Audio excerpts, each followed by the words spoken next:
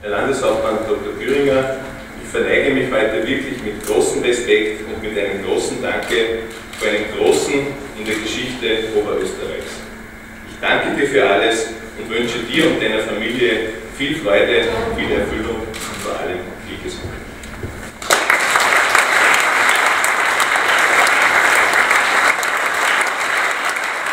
Herr Landeshauptmann, Gratulation einmal. Heute ist es endlich offiziell äh, soweit. Bevor wir allerdings zu Ihnen kommen, welcher Politiker hat denn heute die Landesbühne verlassen, beziehungsweise welcher Mensch?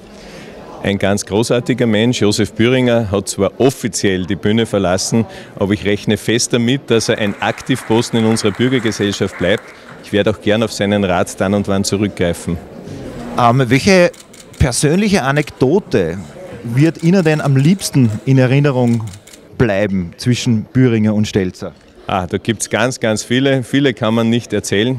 Aber das Lustigste ist immer, wenn er auch während des Essens sehr überschwänglich Dinge erzählt hat und dann plötzlich die Krawatte drunter gelitten hat und dann das Theater groß war. Um Gottes Willen, was machen wir jetzt?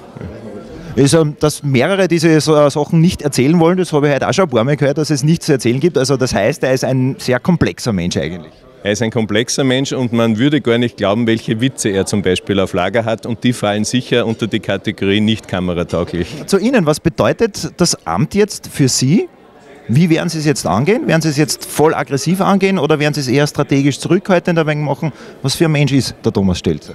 Also erstens einmal freue ich mich sehr darüber, aber ich weiß schon auch, dass es eine sehr große Aufgabe ist mit viel Verantwortung. Zurückhaltung ist fehl am Platz. Wir sind sehr gefordert. Nachdem wir ein so starker Produktions- und Industriestandort sind, stehen wir in Wettbewerb mit erfolgreichsten Regionen der Erde. Die schlafen nicht, ganz im Gegenteil, die entwickeln sich rasant nach vorne.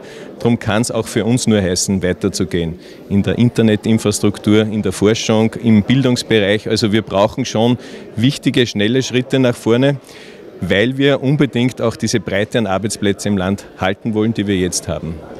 Äh, wenn in 20, 30 Jahren ja, jemand auf die Ägide Stelzer zurückblickt, was wünschen Sie sich, dass die Menschen sagen werden? Er war ein guter Nachfolger für den Josef Büringer und er hat in seiner Zeit das Land toll weiterentwickelt, sodass es auch jetzt breiten Wohlstand und viel Lebensqualität gibt. Dann wünsche ich Ihnen alles Gute dazu und sage vielen Dank.